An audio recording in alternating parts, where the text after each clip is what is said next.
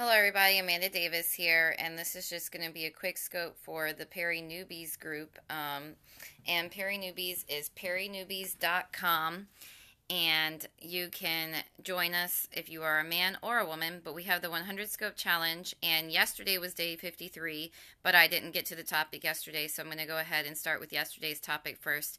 And um, so the topic was to share a recipe, and so I was trying to think on what recipe I wanted to share and hopefully what I say here makes enough sense. But anyway, my family makes a macaroni and cheese that is really good, or I think it's really good. My family thinks it's really good. Um, but it was passed down starting with my dad's grandmother and then his mom started making it and then my mom modified it just a little bit and um, i've made it a couple times myself. I don't have kids yet so we haven't it hasn't gotten any further than me yet. But anyway um, and i don't know that my brother or any of my cousins have ever made it but i could be wrong. Um, but anyway so my mom the way that she makes it is the way that i was going to share. But anyway basically macaroni and cheese easy enough. You get your macaroni noodles and um, so you're going to boil those until they're tender. And then what we do is we add it to a casserole dish and you add um, shredded cheddar cheese. We usually use the Cracker Barrel sharp cheddar cheese. And um, so we usually either you would have to hand grate it, which is kind of a pain, or my mom likes to use a salad shooter that is basically it automatically grates it because it's um, a kind of thing that like shreds your vegetables.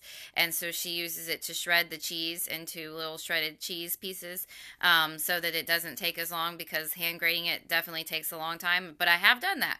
Um, one of the times that I made it, that's what I did. And then I was like, never again. But I did one time also make it with um, a different brand of cheddar cheese, and I can't remember what brand I used, probably Kraft or something like that, that was already shredded because I was like, I am not taking that time to grate that cheese. But anyway, you want cheddar cheese is what you wanted, want, and you want it to be shredded.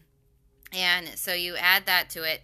Um, I would say it's probably at least a couple cups of it, um, maybe even three cups, because you want to make sure you have enough cheese for it to be mac and cheese.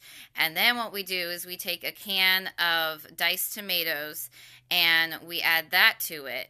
And that's what makes it a little bit different because mac and cheese, you're not used to having something like tomatoes in it, but we do add the tomatoes to it. And then the way that my mom made it a little bit different is she adds a dash of milk and then you put it in the oven and i want to say that we used the temperature of 350 that sounds right because i know it wasn't very hot and it shouldn't be very and 350 is like your average kind of temperature. So i want to say so you put it in there at 350 and it's for about 30 minutes um, because you don't so because it's already cooked because you cooked your macaroni noodles so 30 minutes is about the amount of time that it goes in there for.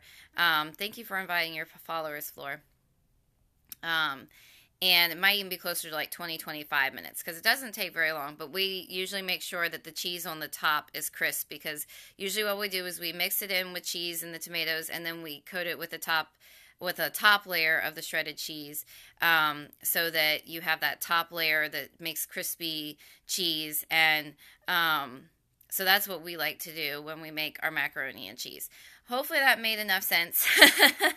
I guess since Flora decided to heart it up and gives and invite her followers. Um, oh yes, we do usually add a little bit of butter. I think they only add though um, like one tablespoon probably. But yes, thank you for reminding me about the butter because um, I know it's not a lot of butter. It's like you know your little like that little. So I think it's just the one little tablespoon of butter that they usually add. Um, and yes, sharp cheddar cheese is what they use.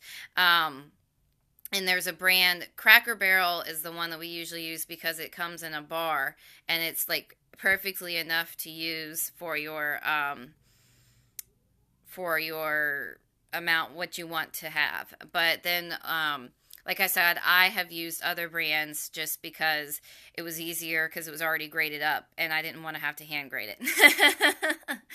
um, but anyway, it's just different. Like I said, it's basically your basic mac and cheese and then you add the tomatoes um, because that's what makes it different. Because I've had other mac and cheeses that were made similar without the tomatoes, and um, so that's really how they make it different. Though is adding the tomatoes.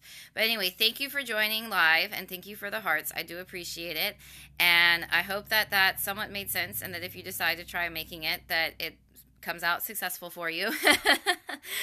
um, and I am going to go ahead and end this scope, but I will see everybody in my next scope. Thanks again. Bye, guys. Thank you to anyone that happens to catch the replay.